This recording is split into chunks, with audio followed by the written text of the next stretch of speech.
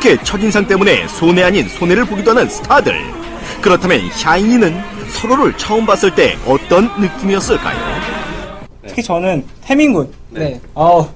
아우, 초등학교 6학년 때였나요? 아, 맞아요. 아, 애기가, 애기가 왔습니다. 그- 그런 기억이 있네요. 어, 첫인상 하면 무엇보다 온유 형을 빼먹을 수 없을 것 어, 같은데, 네. 저보다 동생인 줄 알고 제가 반말을 함부로 했어요. 맞아요. 동안입니다. 동안이에요. 엄청 동안이에요. 저보다 한. 두 살은 어린 줄 알았어요. 네. 그런 기억이 있네. 일단 민호 형은 처음 봤을 때, 어이, 뭐, 어떻게 사람이 이렇게 눈이 동그랗은 사람이 있지 하고 네. 굉장히 놀랐었어요. 그리고 굉장히 처음 봤을 때부터 이제, 그때는 키가 많이 작았는데 키가 빨리 이렇게 쑥 컸고. 역신상. 그렇다면 샤이니가 신인상을 받고 가장 먼저 한 일은 무엇일까요? 샤이니 멤버들에게 직접 물어봤습니다. 네. 가장 먼저 저희는 내려와서 펑펑 울었습니다. 네. 펑펑 울었죠. 아, 울었죠. 대기실에서 2부가 시작하기 전까지 네. 네, 펑펑 울었습니다. 동현이 형은 2부가 시작해, 시작하고도 네. 못 들어올 뻔했어요. 맞아요. 눈이 너무 부어서 네, 아.